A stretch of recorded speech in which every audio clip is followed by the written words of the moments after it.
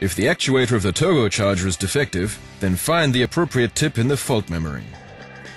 You can now exchange the actuator without having to replace the complete turbocharger.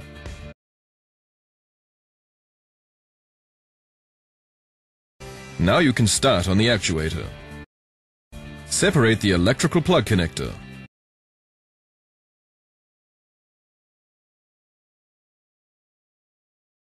Then remove the retaining clip at the adjusting lever. Make sure that the clip does not fall into the engine compartment.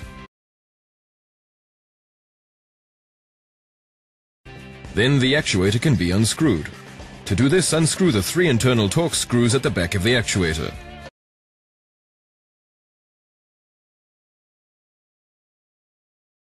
Attach the new actuator in the reverse order.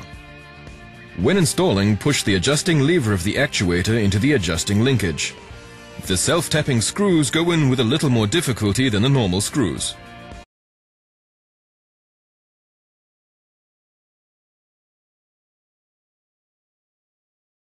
Remember to attach the retaining clip again at the adjusting lever.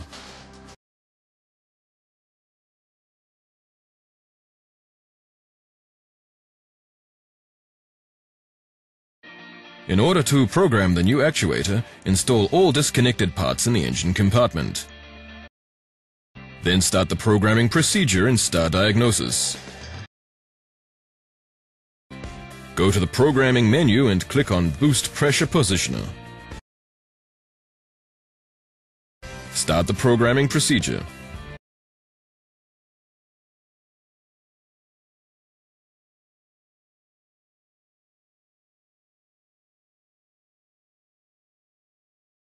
In order to test the actuator, control it manually.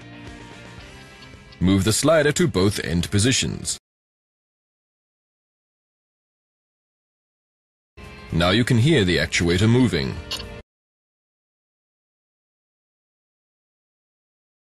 Finally, clear the fault memory. And the renewal of the actuator is complete.